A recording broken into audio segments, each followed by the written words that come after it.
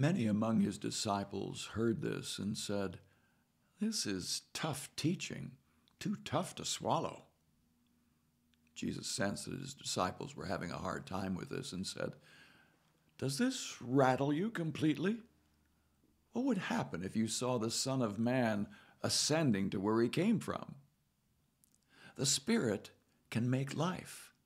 Sheer muscle and willpower don't make anything happen.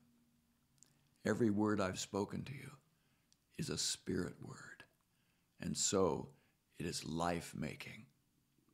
But some of you are resisting, refusing to have any part in this. Jesus knew from the start that some weren't going to risk themselves with him. He knew also who would betray him. He went on to say, This is why I told you earlier that no one is capable of coming to me on his own. You get to me only as a gift from the Father. After this, many of his disciples left. They no longer wanted to be associated with him. Then Jesus gave the twelve their chance. Do you also want to leave? Peter replied, Master, to whom would we go? You have the words of real life, eternal life. We've already committed ourselves, confident that you are the Holy One of God. Jesus responded, Haven't I handpicked you, the twelve? Still, one of you is a devil. He was referring to Judas, son of Simon Iscariot. This man, one from the twelve, was even then getting ready to betray him. Later, Jesus was going about his business in Galilee. He didn't want to travel in Judea because the Jews there were looking for a chance to kill him. It was near the time of tabernacles, a feast observed annually by the Jews.